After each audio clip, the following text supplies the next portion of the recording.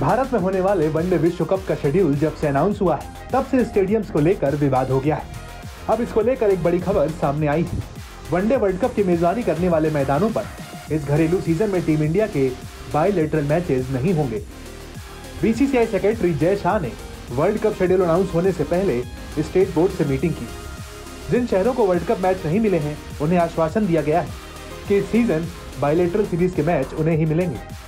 मोहाली, नागपुर विशाखापट्टनम और इंदौर जैसे शहरों को वर्ल्ड कप के मैच नहीं मिले हैं। ऐसे में उम्मीद है कि टीम इंडिया वर्ल्ड कप से पहले ऑस्ट्रेलिया के खिलाफ इन मैदानों पर अपने मैच खेलेगी। जय शाह ने वर्ल्ड कप की मेजबानी करने वाले एसोसिएशन को लेटर लिखकर रिक्वेस्ट की है। शाह ने उनसे भारत के घरेलू सीज़न के मैच छोड़ने के लिए कहा और सभी वेन्यू ने उनकी रिक्वेस्ट मान ली है। इसमें दिल्ली, धर्मशाला, चेन्नई, कोलकाता, मुंबई, पुणे, हैदराबाद, अहमदाबाद, बेंगलुरु और लखनऊ शामिल हैं। हालाँकि वर्ल्ड कप के वार्म अप मैच होस्ट करने वाले वेन्यू गुवाहाटी और तिरुवनंतपुरम को द्विपक्षीय मैचों की मेजबानी में प्राथमिकता दी जाएगी।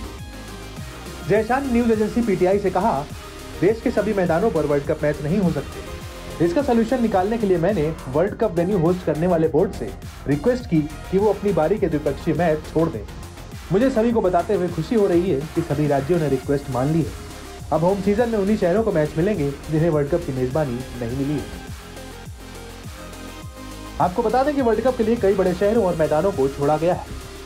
इसमें उन्नीस सौ छियानवे और 2011 का वर्ल्ड कप सेमीफाइनल होस्ट करने वाला मैदान मोहाली भी शामिल है।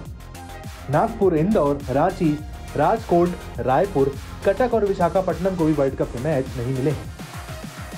टीम इंडिया वर्ल्ड कप से पहले ऑस्ट्रेलिया के खिलाफ तीन वनडे खेलेगी। ऐसे में उम्मीद है कि इन शहरों में ही ऑस्ट्रेलिया सीरीज़ के मैच कराए जाएँगे। वर्ल्ड कप के बाद फिर टीम इंडिया, न्यूजीलैंड और अफ़गानिस्तान के खिलाफ वनडे खेलेगी। फिर 2024 में इंग्लैंड के खिलाफ पाँच टेस्ट होंगे। साथ ही बांग्लादेश के खिलाफ दो और न्यूजीलैंड के खिलाफ तीन टेस्ट मैच होंगे।